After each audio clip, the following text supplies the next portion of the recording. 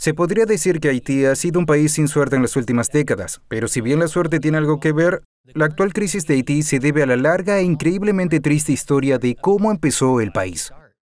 Pero lo más sorprendente de todo es que Haití comparte su isla con República Dominicana, un país bastante seguro, rico y estable. Y aquí, ¿por qué Haití está tan mal? Y la República Dominicana está tan bien. Bienvenidos a Geografía con Jeff. Hoy vamos al Caribe para conocer la isla La Española, hogar de Haití y la República Dominicana. Aunque comparten una isla pequeña, sus situaciones actuales son muy diferentes. Haití se ha convertido en un estado anárquico, mientras que la República Dominicana es bastante segura. En el episodio de hoy, analizaremos por qué. Antes de ver el video, si te gusta mi canal, no te pierdas mi podcast, Geography is Everything. Cada semana trataremos un tema diferente y lo analizamos desde el punto de vista de la geografía. Todos los miércoles estrenan episodios nuevos y puedes encontrarlos en YouTube, Substack o la app que utilices para escuchar podcast. Aún comparten la misma isla. Haití y República Dominicana difieren entre sí en muchos aspectos y muchas de estas diferencias se originan en la historia colonial de ambos países. Cristóbal Colón desembarcó por primera vez en la isla de la Española en 1492. Colón pisó lo que hoy es la costa noroeste de Haití. Como Colón estaba financiado por la monarquía española, reclamó toda la isla para España, a pesar de que ya había varios pueblos indígenas viviendo en ella.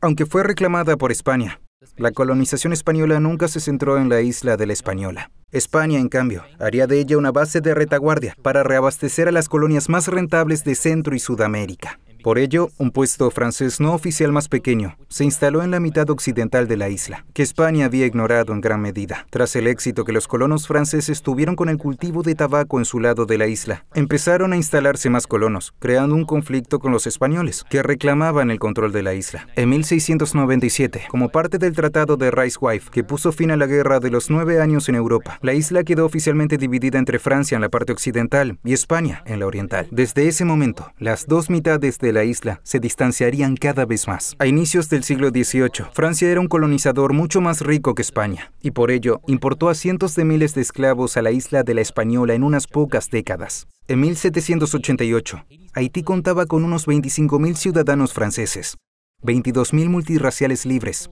y más de 700.000 esclavos. En cambio, la colonia que se convertiría en República Dominicana tenía unos 38.000 españoles, 38.000 multirraciales libres y menos de 15.000 esclavos. Y esta disparidad en la cantidad de esclavos conduciría a Haití a convertirse en una de las colonias más ricas del mundo y la más rica del imperio francés. En 1800, Haití representaba la mitad de los beneficios de Francia en el extranjero por sus azucareras, que la mano de obra esclava hacía bastante rentables.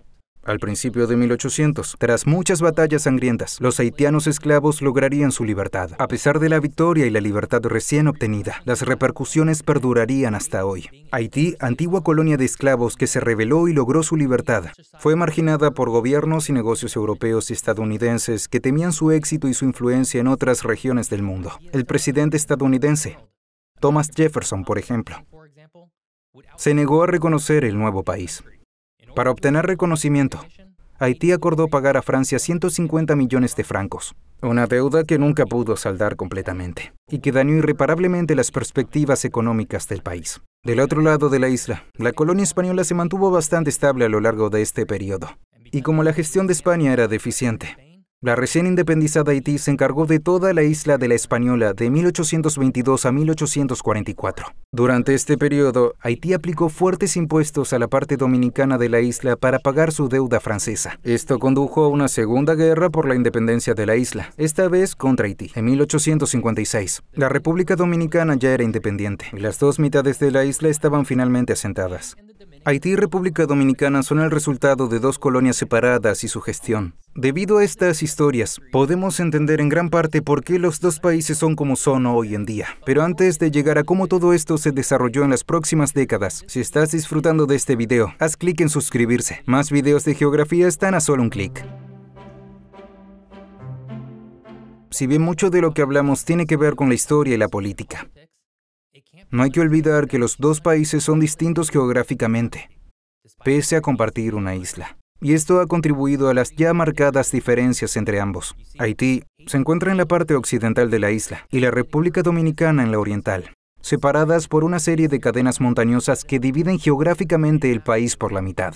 En la parte oriental dominicana, las tormentas llegan desde el este y traen precipitaciones que crean bosques tropicales exuberantes. Pero debido a la cadena montañosa, Haití se sitúa en una especie de sombra pluvial que impide la llegada de las precipitaciones. Esto significa que Haití es bastante seco en comparación con sus islas vecinas, lo que ha tenido un gran efecto perjudicial sobre la tierra. Cuando era una colonia francesa de esclavos, Francia realizó una deforestación masiva para transportar madera en los mismos barcos que traían a los africanos. Y como Haití es mucho más seco, no ha sido capaz de regenerar sus bosques del mismo modo que la parte dominicana. Haití también es el desafortunado hogar de la falla de Enriquillo, que causó numerosos terremotos de gran magnitud a mediados del siglo XIX, y fue la causa de los terremotos de 2010 y 2021 que sacudieron los principales centros de población de Haití. La República Dominicana alberga su propia falla, pero esa falla específica ha sido mucho menos activa y atraviesa una región del país que tiene mucha menos gente. No hay una causa única que explique por qué Haití es hoy un desastre. Lamentablemente, se han acumulado una serie de catástrofes naturales y provocadas por el hombre hasta llegar a este punto. A principios de 1900, por deber grandes sumas de dinero a Francia, Alemania y Estados Unidos, el país no podía prever servicios básicos a sus ciudadanos. Por ello, se producirían frecuentes rebeliones y golpes de Estado.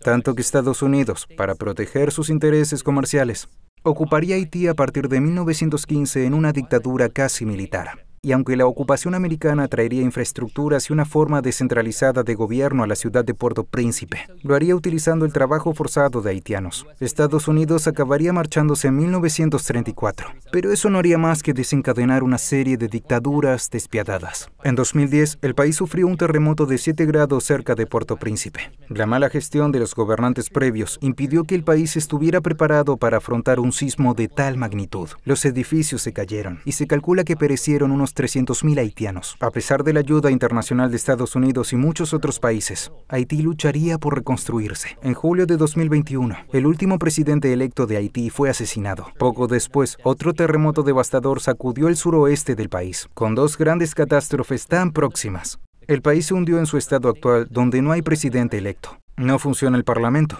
y apenas funciona el sistema judicial. De hecho, hoy en día gran parte de Haití está gobernada por varias pandillas. Hoy en día, los dos países no podrían ser más diferentes en términos de estabilidad y riqueza. Y aunque República Dominicana ha tenido que lidiar con dictaduras en el pasado, su destino ha sido muy diferente. República Dominicana ha podido diversificar su economía y recibir mucho más dinero que su vecino. En 2022, el PIB total de República Dominicana ascendía a 255 mil millones de dólares. Mientras tanto, Haití tenía un PIB de unos 34 mil millones de dólares. Es una diferencia increíble. Y aunque se podría pensar que se debe a poblaciones, no es así. Una vez más, a partir de 2022, la República Dominicana fue el hogar de aproximadamente 10,7 millones de personas y Haití fue el hogar de 11,3 millones de personas. En términos económicos, los dos países deberían tener un PIB bastante similar, pero Haití nunca ha podido formar un gobierno que funcione como lo ha hecho la República Dominicana. Y esto ha propiciado nuevas economías en la República Dominicana, como una gran industria turística que nunca se ha materializado en Haití. Haití y República Dominicana comparten hoy una isla, y es la única similitud entre ambos. Haití actualmente no es un estado funcional, mientras que podrías ir a hacer un viaje bastante agradable a República Dominicana. Esperemos que Haití también lo consiga algún día. Espero que hayas disfrutado aprendiendo sobre Haití y República Dominicana y por qué son tan diferentes. Si lo hiciste, por favor suscríbete a mi canal y si quieres ver más videos, puedes hacerlo aquí. Gracias por verme. Hasta la próxima.